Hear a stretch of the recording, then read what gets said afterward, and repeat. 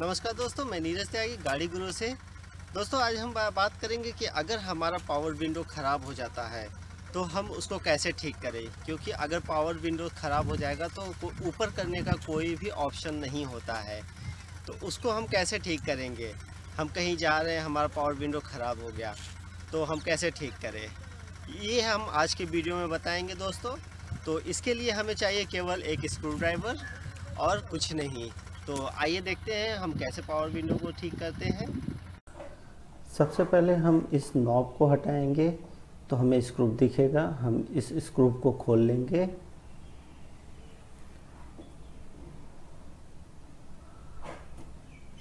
उसके बाद हम यहाँ पे एक स्क्रू है स्क्रू इस स्क्रू को खोल लेंगे। हर जगह दोस्तों अलग अलग गाड़ियों में अलग अलग जगहों पे स्क्रू होता है। वो आप खोल लेंगे। ये चीज़ दोस्तों ध्यान रखें कि स्क्रू कोई ऐसा ना हो कि छूट जाए हो, फिर ऐसे स्क्रू ड्राइवर को इसमें डाल कर के इसको खोला जाता है।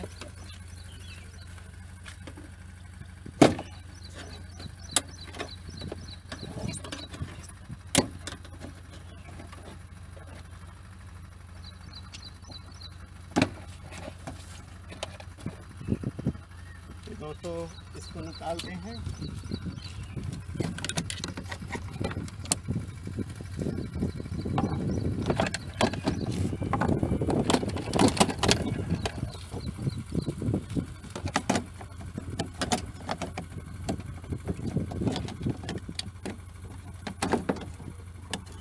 इसको इस तरह से करके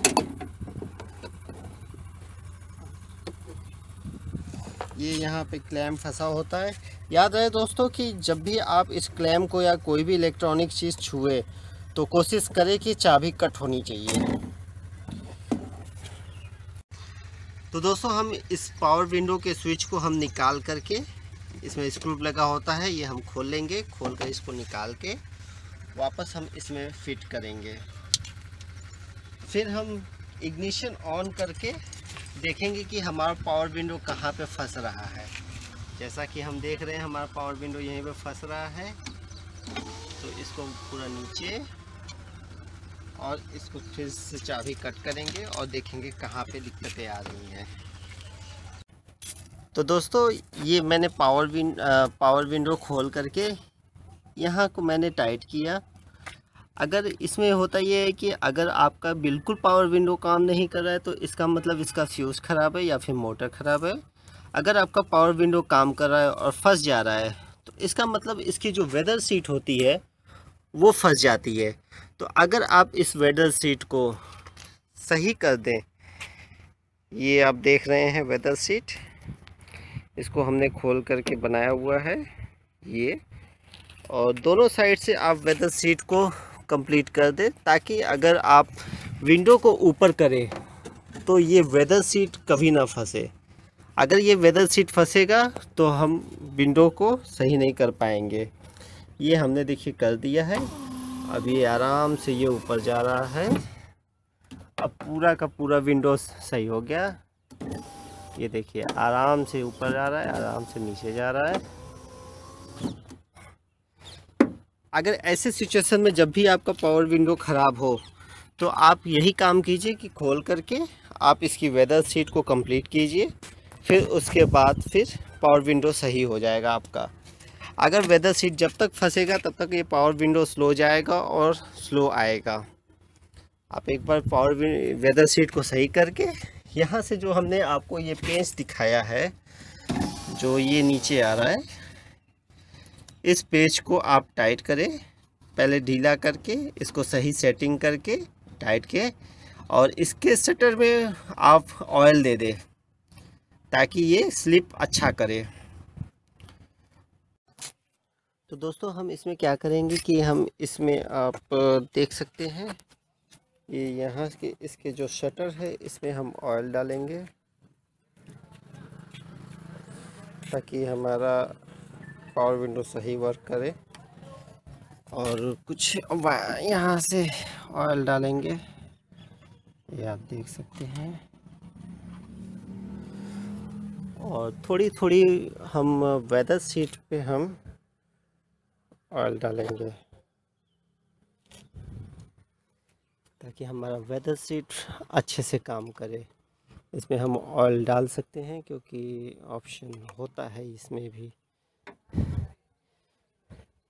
एक बार अगर वायर आप ऑयल अच्छे से डाल देते हैं तो वेदर सीट स्लिप करेगा और डोर्स फंसेंगे नहीं।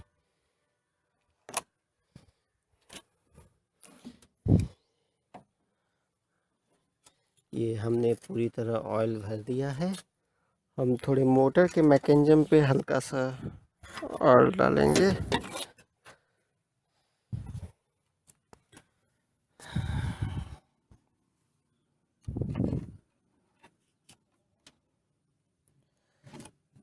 फिर उसके बाद दोस्तों मैं, हम लोग क्या करेंगे कि इसको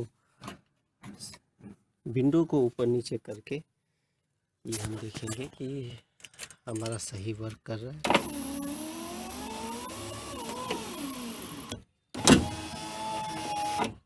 तो हमारा विंडो सही वर्क कर रहा है। अब हम इसको टाइट कर देंगे, पूरी तरह कंप्लीट करेंगे। ये हम स्विच अब इसको वापस कसेंगे। क्योंकि हमारा पावर विंडो सही हो चुका है, या स्विच भी ख़राब हो सकता है। अगर स्विच ख़राब होगा तो पावर विंडो काम नहीं करेगा। अगर आपका पावर विंडो पूरी तरह डेड है, यानी एकदम काम नहीं कर रहा है तो पहले तो आप फ्यूज़ चेक करें। अगर फ्यूज़ सही है, ख़राब है तो चेंज कर दे, सही हो जाएगा। अगर फिर भी फ्यूज़ सही है, फिर भी काम नहीं कर रहा है तो स्विच एक बार सर्विस सेंटर में ज़रूर चेक करवाएँ, जिससे आपका पावर विंडोज़ पूरी तरह ठीक हो सके।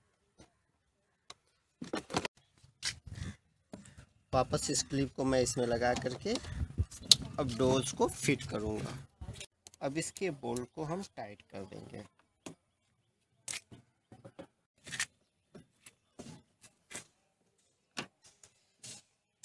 ये हमने टाइट कर दिया है। अब ये हमारा पावर विंडो पूरी तरह कंप्लीट है। तो दोस्तों, आपने देखा कि हमने आपके पावर विंडोज़ को कैसे सही किया ये किसी भी गाड़ी में हो सकता है और ये किसी हर गाड़ी का अलग अलग मैकेनिज्म होता है। उस गाड़ी में हर जगह आपको स्क्रू खोलने के लिए दिया होता है, ये लेकिन खुलता इसी तरीके से है। और अगर आप फिट करके ऐसे बनाना चाहें तो आप आप आराम से बना सकते हैं, बिना सर्विस सेंटर ले जाए। अगर जब तक कि कोई पावर विंडोज़ में प्रॉब्लम ना हो, जैसे मोटर जला ना हो या फिर स्विच ख़राब ना हो या कोई इंटरनल प्रॉब्लम ना हो तो अगर आपकी बस पावर विंडो जाम चल रही है या फंस जा रहा है तो ये आप अपने से ऐसे ही ठीक कर सकते हैं। तो तो आपको ये वीडियो कैसा लगा है, ये कमेंट लिख के ज़रूर बताएँ दोस्तों। अगर आपको अच्छा लगा है, शेयर करें, लाइक करें और सब्सक्राइब करना ना भूलें। तो मिलते हैं दोस्तों अगले वीडियो में।